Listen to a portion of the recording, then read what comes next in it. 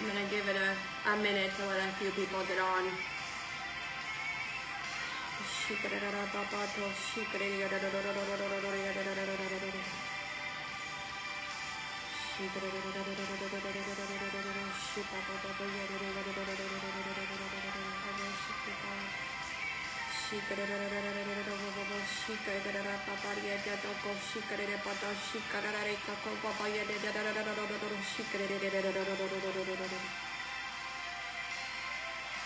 Thank you, Jesus.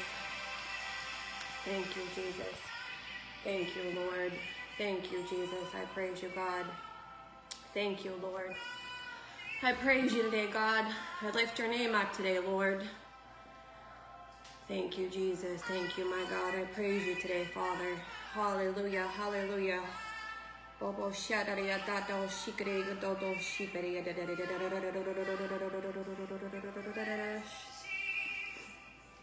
Um, I'm gonna start, and whoever needs to come back and come back. I wanted to say uh, this word has been burning in my spirit for months now, but I have to tell myself as I was studying it yesterday and today, the Lord took a turn on it and um, he showed me a different a different thing, which I know it's the Holy Spirit. So I'm gonna let him lead today. I have a lot, and we're definitely not gonna be able to cover it all. So um, we'll just do what the Lord is leading. So if you want to agree with me in prayer, real quick. My God, we come before you today, Lord. I thank you, Jesus, that greater is He that is in me than He that is in the world today, Father. Every lie from the pits of hell today, Father, that comes against this word, Lord, I take authority over it in the mighty name of Jesus Christ, my God, as your heir today, Father. My God, I ask that you move upon your living word today. Holy Ghost, that you breathe and your breath heals. You breathe through your word and the captive is set free today, Father. My God, your word, my God, is alive and active, Lord. It's sharper than any two-edged sword. I penetrate through every lie of fear, every distraction, every crowded heart that comes to hear what the word of the Lord says. I ask you penetrate them today, Lord. I ask you speak to them today, Father. And I ask God that you show your glory here on this line, Lord. They didn't come to hear men. They come to hear you. So I give myself to you, Lord, and I feel your presence all over me. So I ask, God, that everyone that's watching and listening, Lord, gets a touch from you. I praise you, Lord. In the mighty name of Jesus, I pray. Amen. When I got into this word, you'll know this is a very familiar parable, and it's in the book of Matthew 7, and it starts in verse 24, and I'm reading from the Passion Translation because I like the way that it's reading out. And this is Jesus talking, and he's talking to uh, his disciples, he's talking to a crowd, and it's a parable. As you notice, it'll say it's likened to a man. And as we know about parables, the Lord does the same today. He'll use whatever was going on in that time to help take the word, even though the Holy Spirit makes the word come alive, parables we can relate to. And at this time, he's talking about building. And Jesus says in verse 24, 7 24, everyone, you see the first thing, everyone who hears my teaching and applies it to his life can be compared to a wise man who built his house on an unshakable foundation. And it says, When the rains fell and the flood came, the fierce winds beating upon his house, it stood firm because of its strong foundation. Verse 26. But everyone, here we go again, everyone who hears my teachings and does not apply it to his life can be compared to a foolish man who built his house on sand. And when it rained, and it rained, and the flood came with the wind, and the waves beating upon his house, it collapsed and was swept away. If you read any other version, it will say the house built on the sand, great was its fall. But I like this version because it says it was swept away. As you see my title, I put rebuild and restore.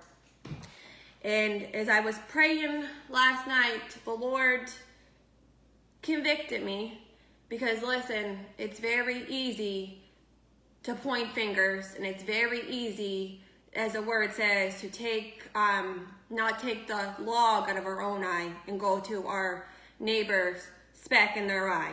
It's very easy to take this word and point fingers and not apply it to our own life. But I want you to pay attention to what Jesus is saying. He said, everyone who hears. So we have two different houses here and we have two different people. The one man is called a wise man and the one man is called a fool. What are they doing? They're both building something. They're both having storms come in their life. It doesn't say that on the outside that their houses looked any different. It doesn't say anything about the storms being any different. All it says is when the storms come, it was the foundation that stayed. And as the Lord spoke to me this morning, as I was, to be honest, I'm just going to speak to you from my heart because I know what the Lord wants me to do. I've been grieving in my spirit because the Holy Spirit, you know, he's a he's a person, he grieves and sin grieves him. And even with my own life, it's very easy to build a foundation on sand. It is very easy to build our life and to build our home and to build the way we live here on something that does not have a firm foundation. It's very easy to fall into this trap. That's why I want to take this word and I don't want to just point fingers, but I want you to feel the Holy Spirit that convicts us because listen, the word is meant to be applied to ourselves first before we apply it to anyone else. And as I read this, the Lord showed me the only difference between these two men was one that was doing the word was wise. It is not enough for us to hear the word and not apply it to our life. As we know, you cannot separate Christ from the word. You cannot separate God from his word because why? He is the living word. This is the breath of God. The word become flesh and dwelt among us. There's no separation. So if we want to have a foundation, and what does a foundation do? It is a start. When I don't know nothing about building, but as I was reading last night, I was trying to study a little bit about building houses and all this, and it says that a foundation is a starting point. You're not going to go lay something on something that does not have a foundation that's not going to stay because what's going to happen? It's going to sink. And it says that in order for like a building to go higher, it's got to go deeper. It's got to have a deeper foundation. And I started thinking about how the word we build upon, it says precept upon precept. And as we apply the word, we get built. And as you know, the word for build actually means edify in the word. So we edify ourselves, we edify other people by the foundation of following the word. Listening to the word is good, yes, but we want to do the word. That is the only difference between these two men. Doers of the word, not just hearers of the word. And I like that it says that this wise man built his house on an unshakable foundation. Because why? He's doing what the word says. What does the word of God say? That heaven and earth will pass away, but my word will stay. See, this is the thing about building our house on sand. As I was praying, you know, it sound it might sound silly to you, but God will speak to you in the natural. We just come back from the beach like a week ago, and um, as we were sitting on the sand, I noticed that when you put something on sand, first of all, it's not a good foundation. You would never be able to have like a, a house or something because it's not rooted. It's not rooted in to a foundation. When you put something on sand, what happens? It takes a shape, does it not? It conforms to the shape that is put on it. Let's say you have kids and you have a bucket and you're putting the bucket on the sand or you sit down on the sand or you put a chair. It's going to take a shape of what is put on it. And this is what the Lord revealed to me. When we build our house, first of all, house means a lot of different words in the word. A house can mean your house, your life. It can also mean, you know, we are the house of God, we are the temple of God. But the one I liked it the most was your descendants. House is your descendants. Who's going to come after you? And as I thought about this sand, you know, if we don't have our foundation in the unshakable foundation of God's word, what God says about us, guess what happens? We start building our foundation of ourselves on people's opinions. We start building our life on the foundation of something that takes on a form of something that has no root. And as you know, sand, when a wind hits it, it gets sifted, does it not? It moves. And I thought about how we could leave what we do here now is going to be left for our children. It's going to be left for our descendants. It's going to be left for whoever comes behind us as we build upon the cornerstone and we build our life on the word of God that never changes, as we listen and we obey the word, we are leaving a firm foundation for our kids because if not, listen to me, the sweeping away is very easy. I know because I lived it. The sweeping away and building your home, building your house, building your family on things that's temporary, that has no foundation, which, you know, today would be a pattern of the world, would be um, let's use social media for an example. Let's use, you know, um, how we compare ourselves to celebrities. Let's go with popularity. Let's go with our looks. Let's go with what we own here when we're here on earth. That is a foundation that has no root to it. And why? Because what happens when we leave this earth and we either make heaven or hell our home, the only thing that is staying with us and following us into these two places is either our works or the things we did for the Lord here that was built on the foundation of God. Everything else is going to be swept away.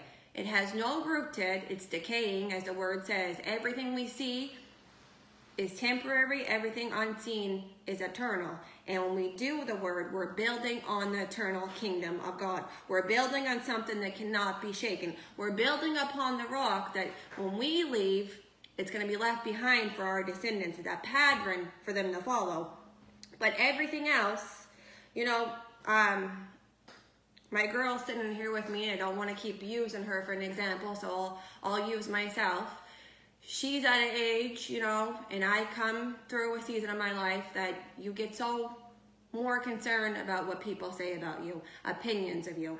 And what happens, we put ourselves out there on social media. I'm not coming against social media. Listen, I understand this is a very easy thing to fall into. But what happens when we post things and let's say we don't get as many likes as we want, or we tell someone something and we don't get, you know, the applaud of people guess what happens? That's a foundation that's going to be swept away. It's neither here nor there. And if we don't know who we are in Christ, we can't build upon the rock. If we're building our life and our house upon people's opinion that's like sand that gets sifted, it's here and then it's there. It never adds the true foundation of what God wants to do in our life. It's something that we have to recognize that we get our identity in God what God's word, this whole thing is about applying God's word to your life and doing what the word of God says. And the word of God calls us beloved. It calls us loved. It calls us favor. It says that he gives us the strength to listen to the word and do the word because we have the Holy Ghost now inside of us that can teach us. He's the leader of all truth. He shows us which ways to walk in. We have everything we need to build upon the firm foundation. But the way I like this is because it said, the rain come and the storms come on both the houses.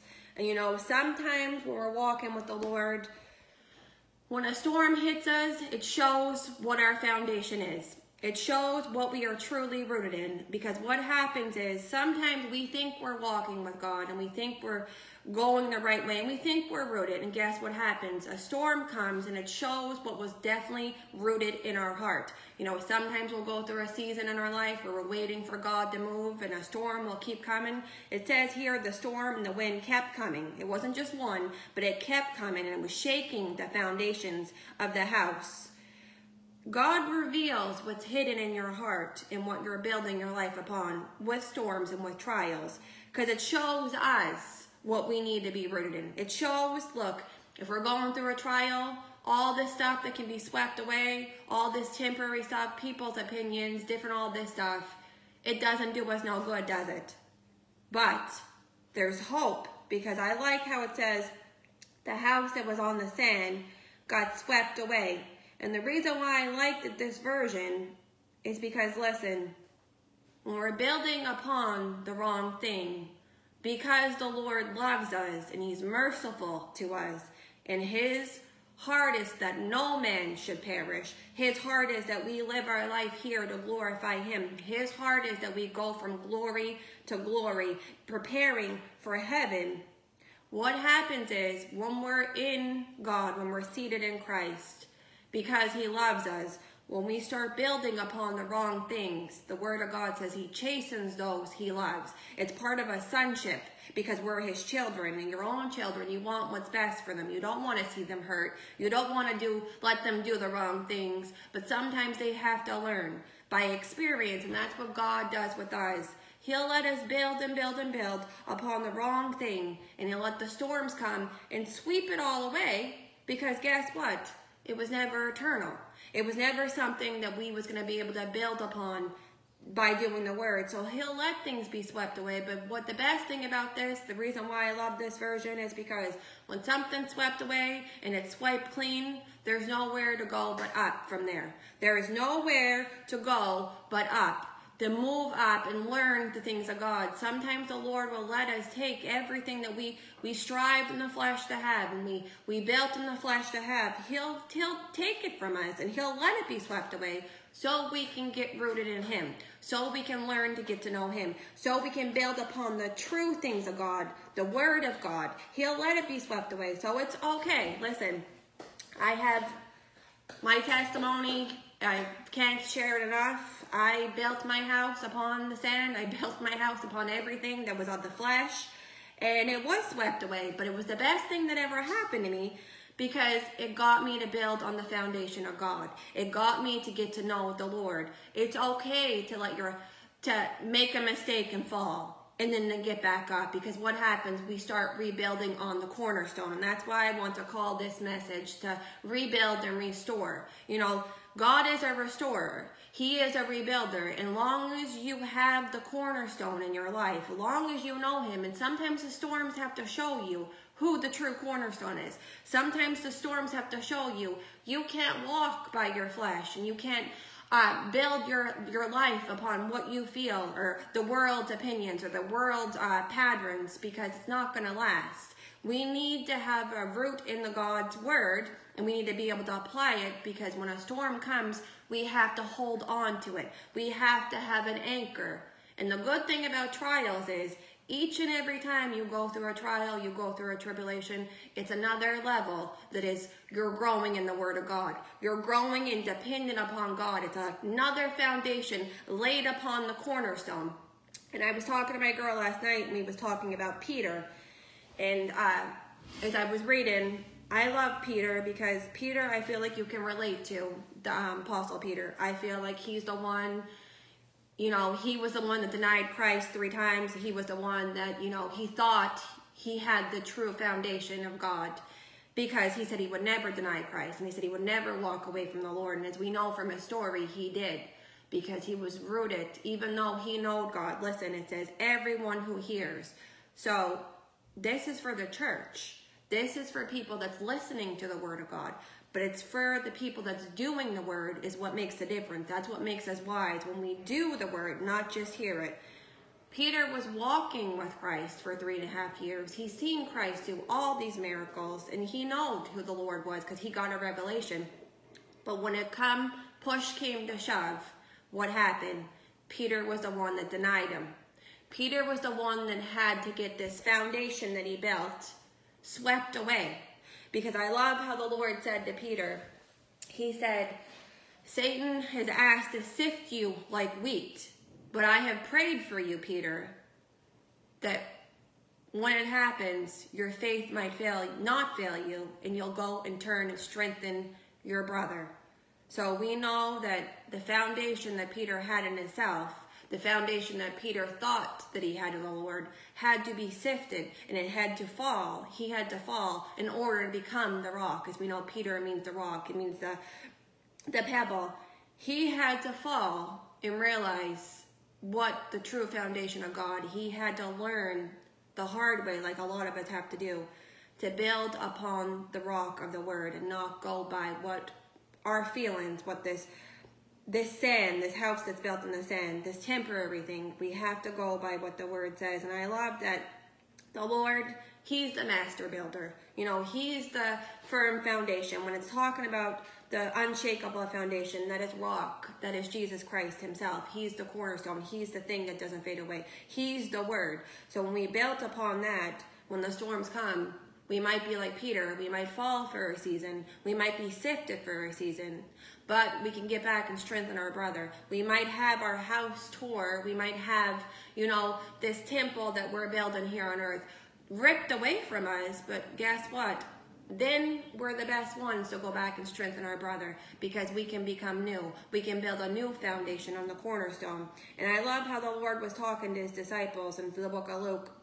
And it says that he was talking about building his church. And he said, on this rock, meaning himself, he is the rock, he is the sure foundation, he is the cornerstone, he is the rock of eternity. On this rock I will build, he's building his church. And it says, and the gates of hell, Hades, will not prevail against it. And as I was praying last night, the Lord showed me how, see these gates to Hades, what is the gates would be for? The gates would be to keep the church out.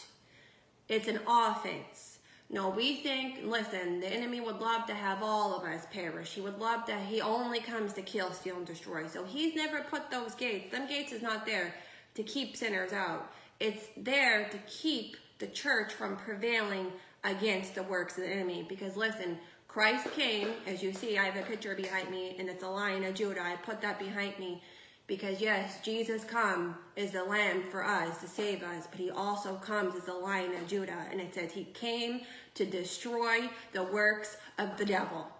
And that's what he came, and that's what he done.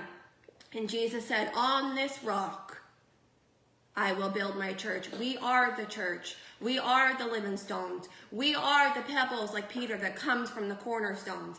And we're not meant to sit back and let the enemy come to us because we are the church that is built upon the rock that the gates of hell will not prevail against.